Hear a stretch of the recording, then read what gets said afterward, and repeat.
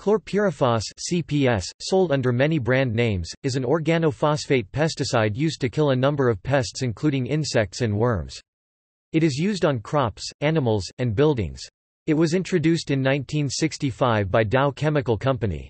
It acts on the nervous system of insects by inhibiting acetylcholinesterase. Chlorpyrifos is considered moderately hazardous to humans by the World Health Organization. Exposure surpassing recommended levels has been linked to neurological effects, persistent developmental disorders and autoimmune disorders. Exposure during pregnancy may harm the mental development of children, and most home use was banned in 2001 in the U.S. In agriculture, it is one of the most widely used organophosphate insecticides. In the United States, and before being phased out for residential use was one of the most used residential insecticides. On March 29, 2017, EPA Administrator Scott Pruitt denied a petition to ban chlorpyrifos. However, on August 9, 2018, the U.S. Ninth Circuit Court of Appeals ordered the EPA to ban the sale of chlorpyrifos in the United States within 60 days.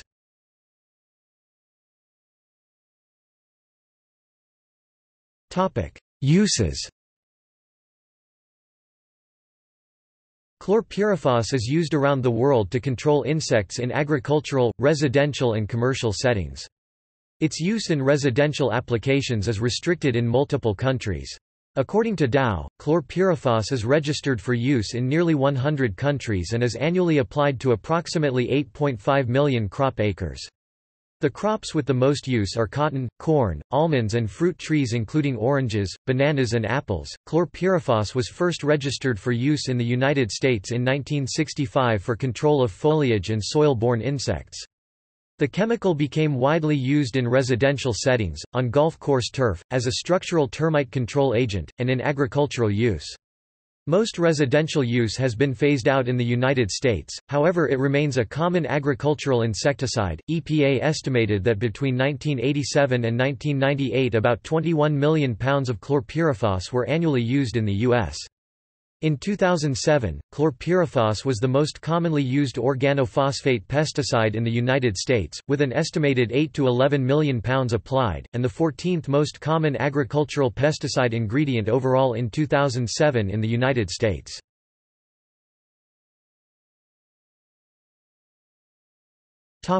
Application Chlorpyrifos is normally supplied as a 23.5% or 50% liquid concentrate. The recommended concentration for direct spray pinpoint application is 0.5% and for wide area application is 0.03 to 0.12% mix is recommended US.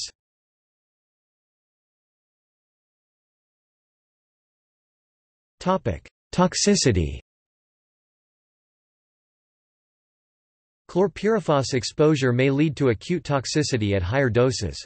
Persistent health effects follow acute poisoning or from long-term exposure to low doses, and developmental effects appear in fetuses and children even at very small doses.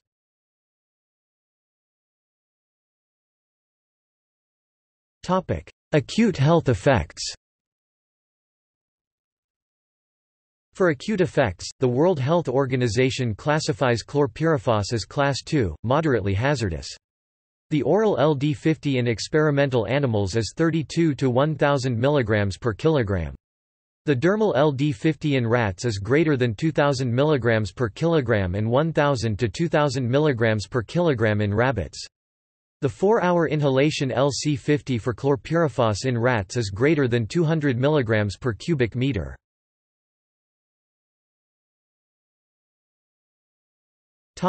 Symptoms of acute exposure.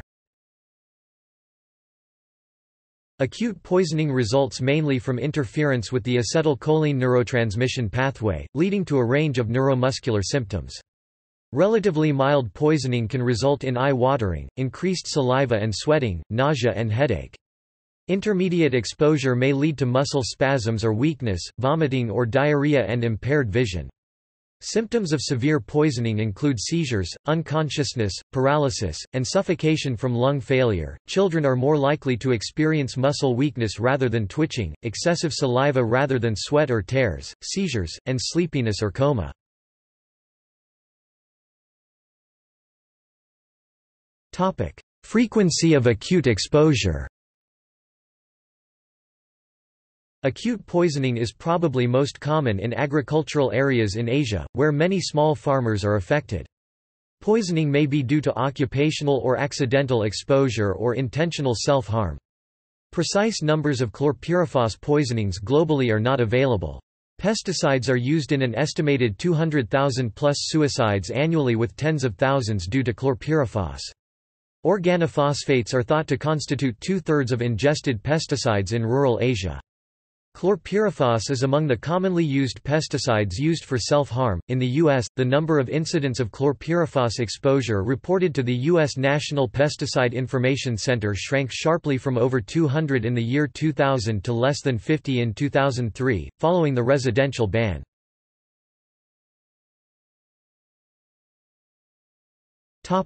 Treatment Poisoning is treated with atropine and simultaneously with oximes such as pralidoxime. Atropine blocks acetylcholine from binding with muscarinic receptors, which reduces the pesticide's impact. However, atropine does not affect acetylcholine at nicotinic receptors and thus is a partial treatment. Pralidoxime is intended to reactivate acetylcholinesterase, but the benefit of oxime treatment is questioned. A randomized controlled trial RCT supported the use of higher doses of pralidoxime rather than lower doses. A subsequent double-blind RCT, that treated patients who self-poisoned, found no benefit of pralidoxime, including specifically in chlorpyrifos patients.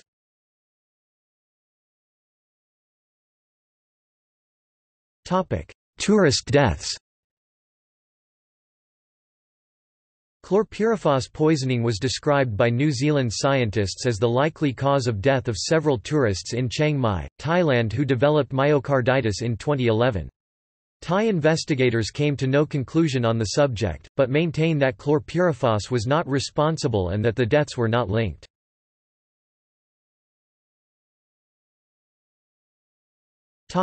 Long-term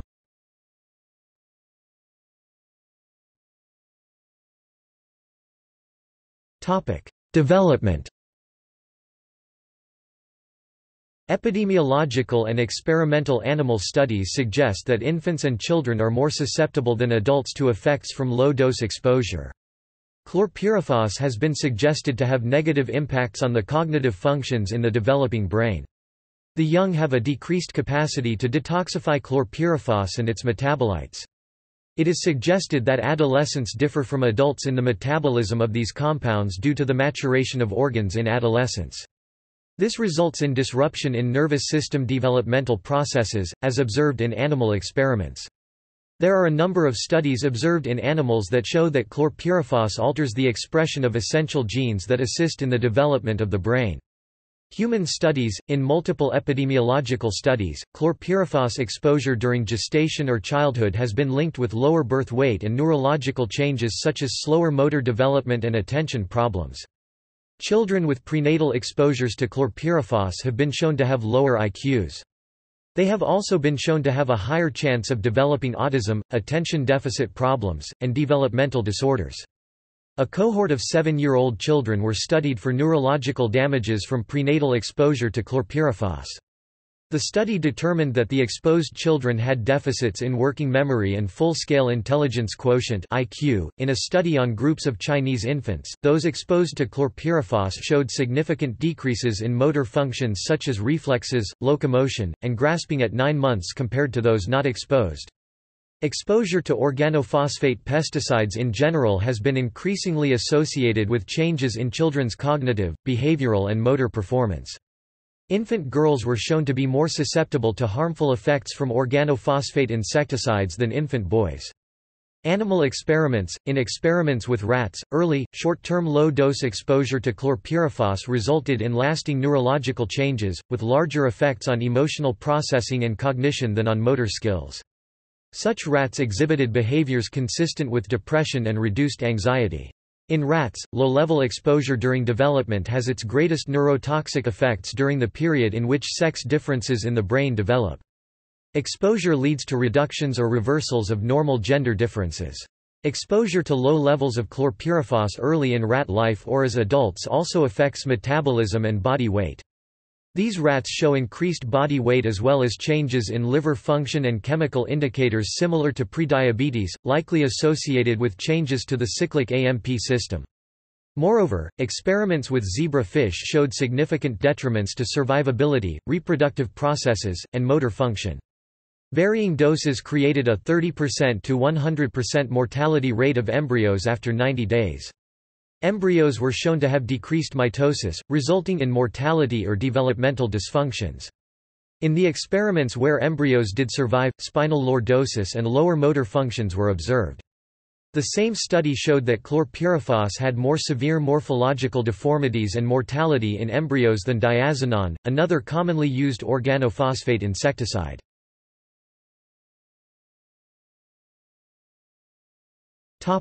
Adulthood Adults may develop lingering health effects following acute exposure or repeated low-dose exposure.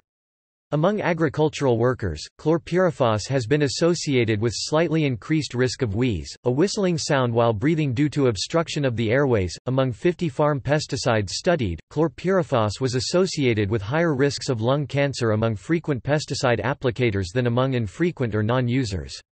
Pesticide applicators as a whole were found to have a 50% lower cancer risk than the general public, likely due to their nearly 50% lower smoking rate. However, chlorpyrifos applicators had a 15% lower cancer risk than the general public, which the study suggests indicates a link between chlorpyrifos application and lung cancer. Twelve people who had been exposed to chlorpyrifos were studied over periods of 1 to 4.5 years. They were found to have a heightened immune responses to common allergens and increased antibiotic sensitivities, elevated CD26 cells, and a higher rate of autoimmunity, compared with control groups. Autoantibodies were directed towards smooth muscle, parietal cell, brush border, thyroid gland, myelin, and the subjects also had more antinuclear antibodies.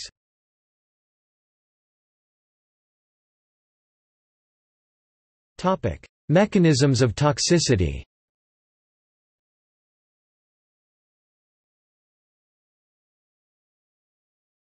Acetylcholine neurotransmission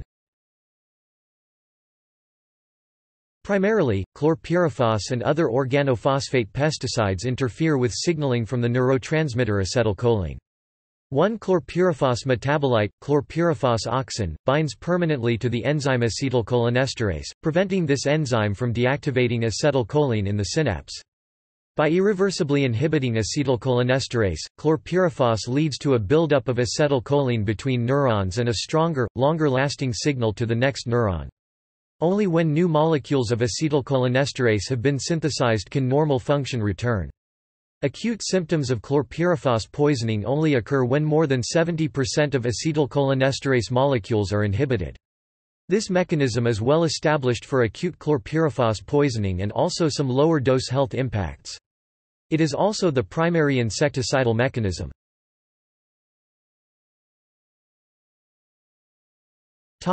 Non-cholinesterase mechanisms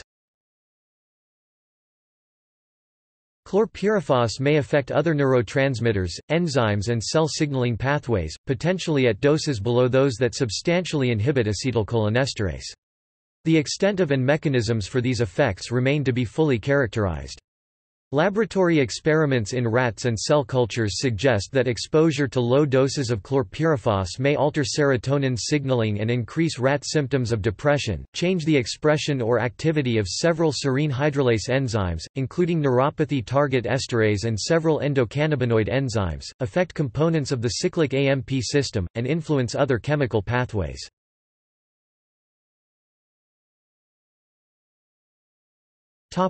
Paraoxonase activity The enzyme paraoxonase 1 detoxifies chlorpyrifos oxon, the more toxic metabolite of chlorpyrifos, via hydrolysis.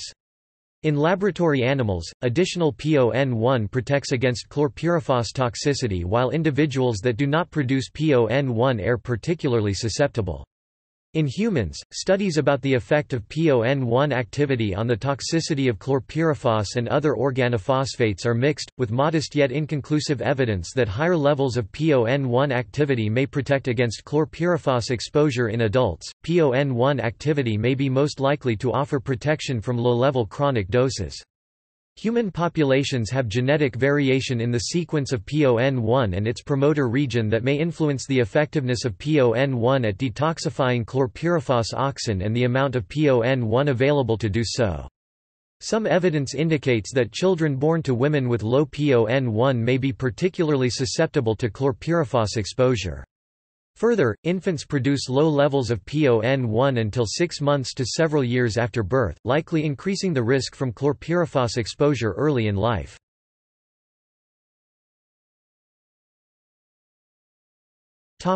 Combined exposures Several studies have examined the effects of combined exposure to chlorpyrifos and other chemical agents, and these combined exposures can result in different effects during development. Female rats exposed first to dexamethasone, a treatment for premature labor, for three days in utero and then to low levels of chlorpyrifos for four days after birth experienced additional damage to the acetylcholine system upstream of the synapse that was not observed with either exposure alone. In both male and female rats, combined exposures to dexamethasone and chlorpyrifos decreased serotonin turnover in the synapse, for female rats with a greater than additive result. Rats that were co-exposed to dexamethasone and chlorpyrifos also exhibited complex behavioral differences from exposure to either chemical alone, including lessening or reversing normal sex differences in behavior.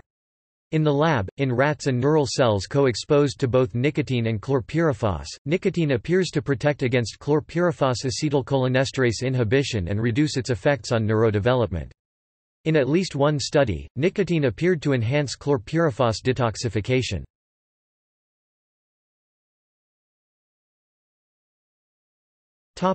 Human exposure In 2011, EPA estimated that, in the general U.S. population, people consume 0.009 micrograms of chlorpyrifos per kilogram of their body weight per day directly from food residue. Children are estimated to consume a greater quantity of chlorpyrifos per unit of body weight from food residue, with toddlers the highest at 0.025 micrograms of chlorpyrifos per kilogram of their body weight per day. People may also ingest chlorpyrifos from drinking water or from residue in food handling establishments. The EPA's acceptable daily dose is 0.3 micrograms per kilogram per day. However, as of 2016, EPA scientists had not been able to find any level of exposure to the pesticide that was safe. The EPA 2016 report states in part, less than pre greater than slash pre greater than dot dot dot this assessment indicates that dietary risks from food alone are of concern the report also states that previous published risk assessments for Chlorpyrifos may not provide a sufficiently health-protective human health risk assessment given the potential for neurodevelopmental outcomes. Humans can be exposed to chlorpyrifos by way of ingestion e.g., residue on treated produce, drinking water, inhalation especially of indoor air, or absorption i.e., through the skin. However, compared to other organophosphates, chlorpyrifos degrades relatively quickly once released into the environment. According to the National Institutes of Health, the half-life for chlorpyrifos i.e., the period of time that it takes for the active amount of the chemical to decrease by 50% can typically range from 33 to 56 days for soil-incorporated applications and 7 to 15 days for surface applications. In water, the half-life is about 25 days, and in the air, the half-life can range from 4 to 10 days. Before residential use was restricted in the U.S., data from 1999 to 2000 in the National NHANES study detected the metabolite TCPY in 91% of human urine samples tested. In samples collected between 2007 and 2009 from families living in Northern California, TCPY was found in 98.7% of floor wipes tested and in 65% of urine samples tested. For both children and adults, the average concentrations of TCPY in urine were lower in the later study. A study looking at pregnant women living in an agricultural community in the Salinas Valley, CA in 2004 showed that 76% of the pregnant women had detectable levels of TCPY. A 2008 study found dramatic drops in the urinary levels of chlorpyrifos metabolites when children in the general population switched from conventional to organic diets. Children of agricultural workers are more likely to come into contact with chlorpyrifos. A study done in an agricultural community in Washington state showed that children who lived in closer proximity to farmlands had higher levels of chlorpyrifos residues from house dust. Chlorpyrifos residues were also found on work boots and children's hands, showing that agricultural families could take home these residues from their jobs. Urban and suburban children get most of their chlorpyrifos exposure from fruits and vegetables. A study done in North Carolina on children's exposure showed that chlorpyrifos was detected in 50% of the food, dust, and air samples in both their homes and daycare with the main route of exposure being through ingestion. Certain other populations with higher likely exposure to chlorpyrifos, such as people who apply pesticides, work on farms, or live in agricultural communities, have been measured in the U.S. to excrete TCPY in their urine at levels that are 5 to 10 times greater than levels in the general population. As of 2016, chlorpyrifos is the most used conventional insecticide in the U.S. and is used in over 40 states. The top five states in total pounds applied are California, North Dakota, Minnesota, Iowa, and Texas.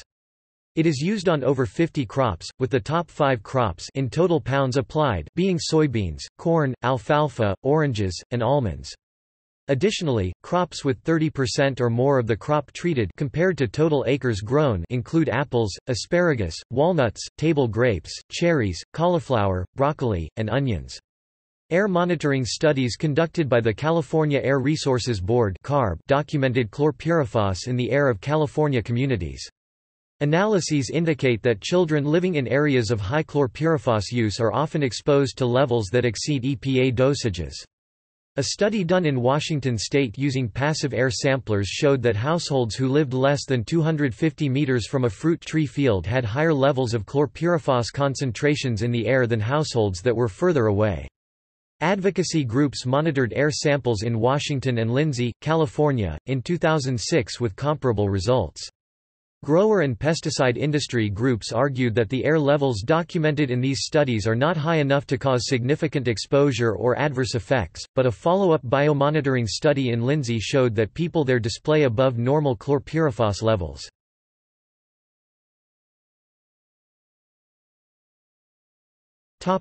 Effects on wildlife Topic aquatic life Among freshwater aquatic organisms, crustaceans and insects appear to be more sensitive to acute exposure than are fish. Aquatic insects and animals appear to absorb chlorpyrifos directly from water rather than ingesting it with their diet or through sediment exposure. Concentrated chlorpyrifos released into rivers killed insects, shrimp and fish. In Britain, the rivers Roding 1985, Ouse 2001, Wey 2002 and 2003, and Kennet 2013 all experienced insect, shrimp, and or fish kills as a result of small releases of concentrated chlorpyrifos.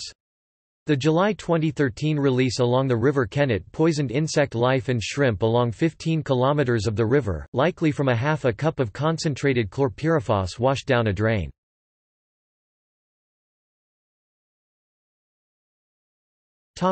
Bees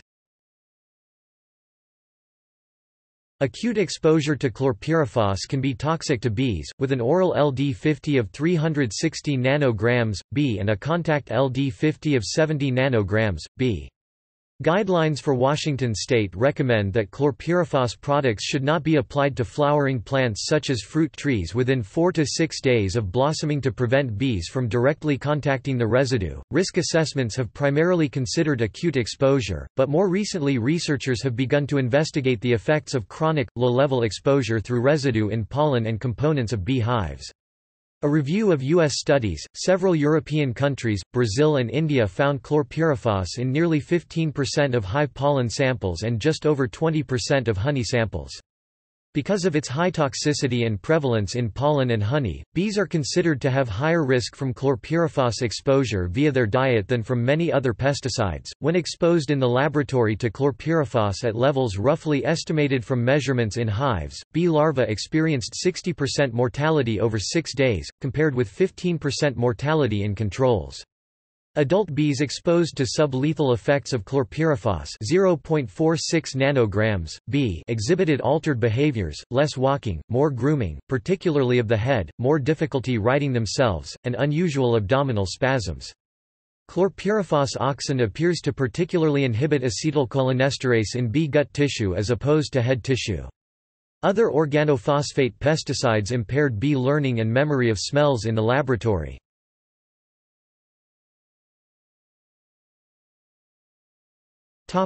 Regulation.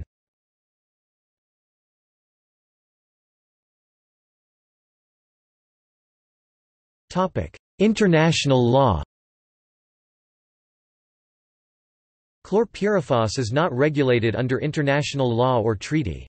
Organizations such as PANNA and the NRDC state that chlorpyrifos meets the four criteria persistence, bioaccumulation, long-range transport, and toxicity in Annex D of the Stockholm Convention on Persistent Organic Pollutants and should be restricted.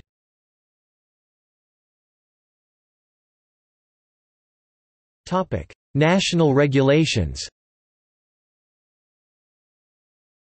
Chlorpyrifos was used to control insect infestations of homes and commercial buildings in Europe until it was banned from sale in 2008. Chlorpyrifos is restricted from termite control in Singapore as of 2009. It was banned from residential use in South Africa as of 2010.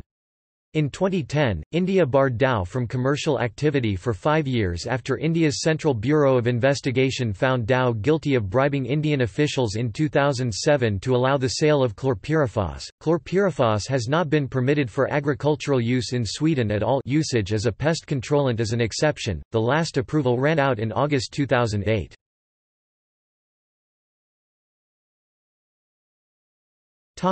United States In the United States, several laws directly or indirectly regulate the use of pesticides. These laws, which are implemented by the EPA, NIOSH, USDA and FDA, include, the Clean Water Act CWA, the Endangered Species Act ESA, the Federal Insecticide, Fungicide, and Rodenticide Act FIFRA, the Federal Food, Drug, and Cosmetic Act FFDCA, the Comprehensive Environmental Response, Compensation, and Liability Act CERCLA, and the Emergency Planning and Community Right to Know Act EPCRA.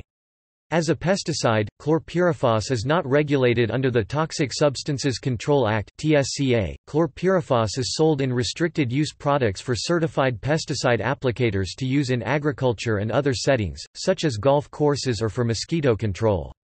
It may also be sold in ant and roach baits with childproof packaging.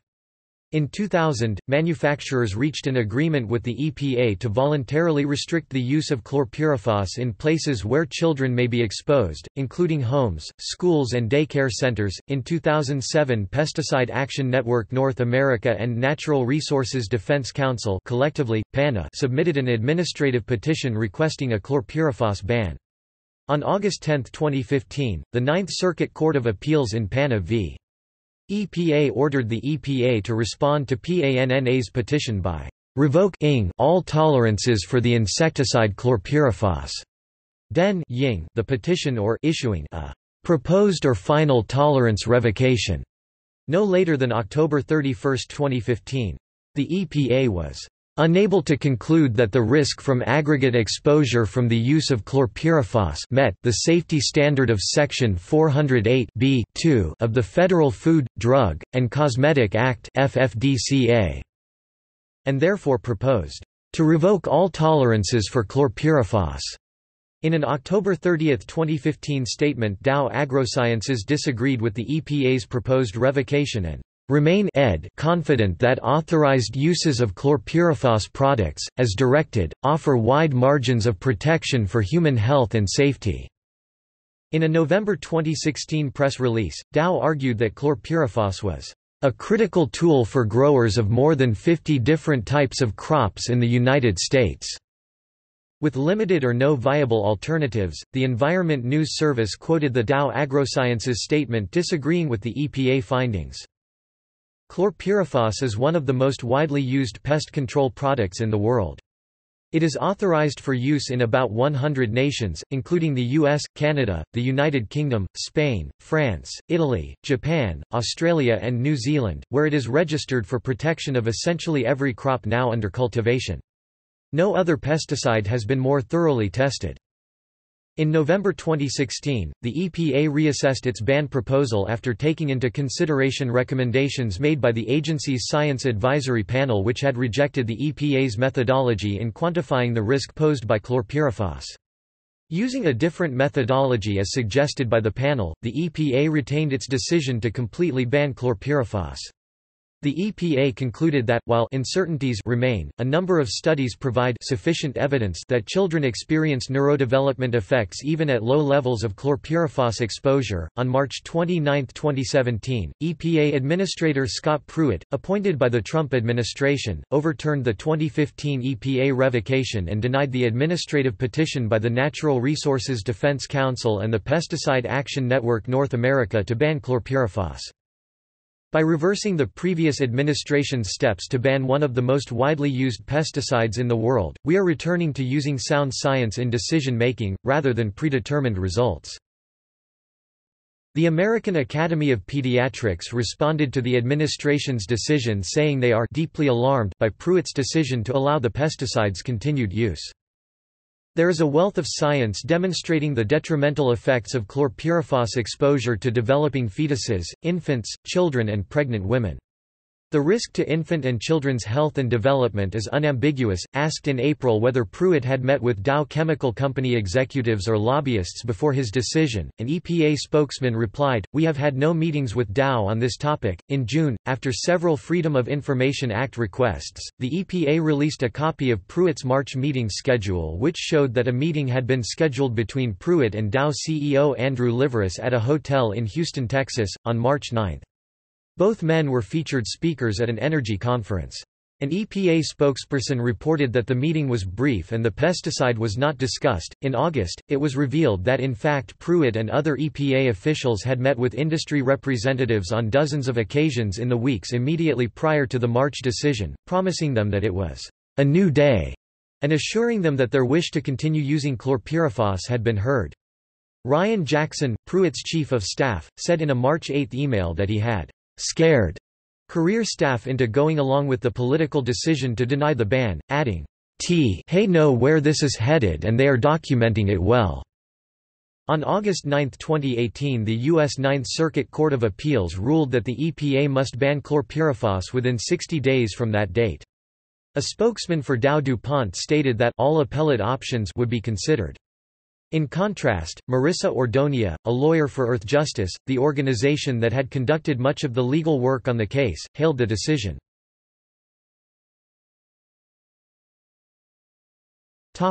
Residue The use of chlorpyrifos in agriculture can leave chemical residue on food commodities. The FFDCA requires EPA to set limits, known as tolerances, for pesticide residue in human food and animal feed products based on risk quotients for acute and chronic exposure from food in humans. These tolerances limit the amount of chlorpyrifos that can be applied to crops. FDA enforces EPA's pesticide tolerances and determines action levels for the unintended drift of pesticide residues onto crops without tolerances. After years of research without a conclusion and cognizant of the court order to issue a final ruling, the EPA proposed to eliminate all tolerances for chlorpyrifos. Because tolerances are the maximum residue of a pesticide that can be in or on food, this proposed rule revoking all chlorpyrifos tolerances means that if this approach is finalized, all agricultural uses of chlorpyrifos would cease." and solicited comments. The Dow Chemical Company is actively opposed to tolerance restrictions on chlorpyrifos and is currently lobbying the White House to, among other goals, pressure EPA to reverse its proposal to revoke chlorpyrifos food residue tolerances. The EPA has not updated the approximately 112 tolerances pertaining to food products and supplies since 2006. However, in a 2016 report, EPA scientists had not been able to find any level of exposure to the pesticide that was safe. The EPA 2016 report states in part, less than pre greater than slash pre greater than dot dot dot this assessment indicates that dietary risks from food alone are of concern. The report also states that previous published risk assessments for chlorpyrifos may not provide a sufficient human health risk assessment given the potential for neurodevelopmental outcomes food-only exposures for chlorpyrifos are of risk concern for all population subgroups analyzed. Children 1 to 2 years old is the population subgroup with the highest risk estimate at 14,000% of the ssPAD food. Based on 2006 EPA rules, chlorpyrifos has a tolerance of 0.1 part per million ppm residue on all food items unless a different tolerance has been set for that item or chlorpyrifos is not registered for use on that crop. EPA set approximately 112 tolerances pertaining to food products and supplies. In 2006, to reduce childhood exposure, the EPA amended its chlorpyrifos tolerance on apples, grapes and tomatoes, reducing the grape and apple tolerances to 0.01 ppm and eliminating the tolerance on tomatoes. Chlorpyrifos is not allowed on crops such as spinach, squash, carrots, and tomatoes. Any chlorpyrifos residue on these crops normally represents chlorpyrifos misuse or spray drift. Food handling establishments, places where food products are held, processed, prepared or served, are included in the food tolerance of 0.1 ppm for chlorpyrifos. Food handling establishments may use a 0.5% solution of chlorpyrifos solely for spot and or crack and crevice treatments. Food items are to be removed or protected during treatment. Food handling establishment tolerances may be modified or exempted under FFDCA Sec. 408. Water Chlorpyrifos in waterways is regulated as a hazardous substance under Section 311 of the Federal Water Pollution Control Act and falls under the CWA amendments of 1977 and 1978. The regulation is inclusive of all chlorpyrifos isomers and hydrates in any solution or mixture. EPA has not set a drinking water regulatory standard for chlorpyrifos, but has established a drinking water guideline of 2 ug.L. In 2009, in order to protect threatened salmon and steelhead under CWA and ESA, EPA and National Marine Fisheries Service NMFS recommended limits on the use of chlorpyrifos in California, Idaho, Oregon and Washington and requested that manufacturers voluntarily add buffer zones, application limits and fish toxicity to the standard labeling requirements requirements for all chlorpyrifos-based products. Manufacturers rejected the request. In February 2013 in Dow AgroSciences vs. NMFS, the Fourth Circuit Court of Appeals vacated EPA's order for these labeling requirements. In August 2014, in the settlement of a suit brought by environmental and fisheries advocacy groups against EPA in the U.S. District Court for the Western District of Washington, EPA agreed to reinstate no spray stream buffer zones in California, Oregon and Washington, restricting aerial spraying 300 feet, and ground-based applications 60 feet, near salmon populations. These buffers will remain until EPA makes a permanent decision in consultation with NMFS. Topic: Reporting. EPCRA designates the chemicals that facilities must report to the Toxics Release Inventory (TRI) based on EPA assessments. Chlorpyrifos is not on the reporting list. It is on the list of hazardous substances under CERCLA aka the Superfund Act. In the event of an environmental release above its reportable quantity of 1 pound or 0.454 kilograms, facilities are required to immediately notify the National Response Center (NRC). In 1995, Dow paid a $732,000 EPA penalty for not forwarding reports it had received on 249 chlorpyrifos poisoning incidents. Topic: Occupational exposure. In 1989, OSHA established a workplace permissible exposure limit of 0.2 mg per cubic meter for chlorpyrifos, based on an 8-hour time-weighted average exposure.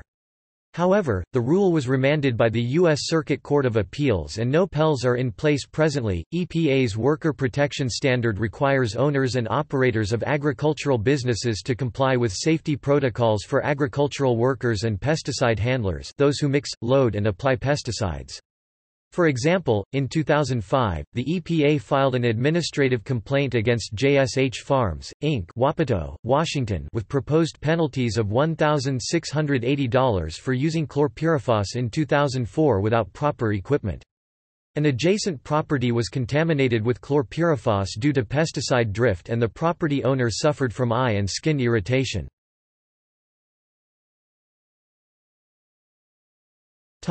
State laws Additional laws and guidelines may apply for individual states. For example, Florida has a drinking water guideline for chlorpyrifos of 21 ug.L.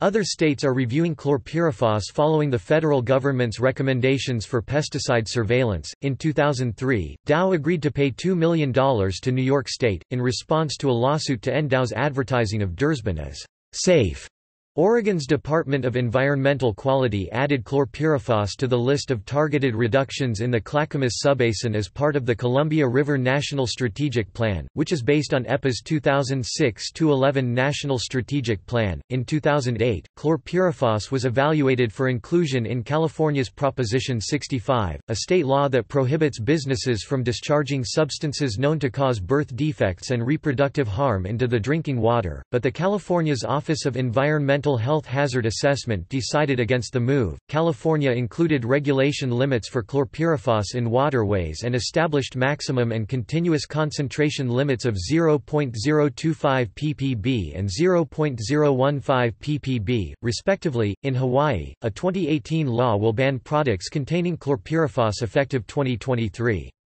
Before that, starting in 2019, the law requires temporary application permits and annual reporting and mandates a 100-foot buffer around schools during school hours.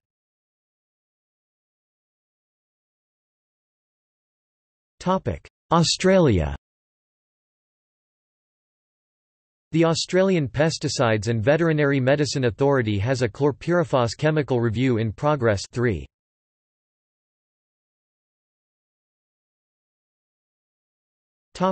Manufacture.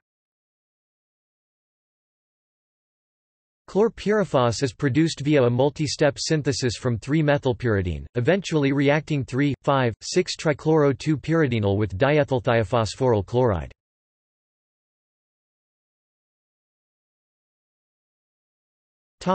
See also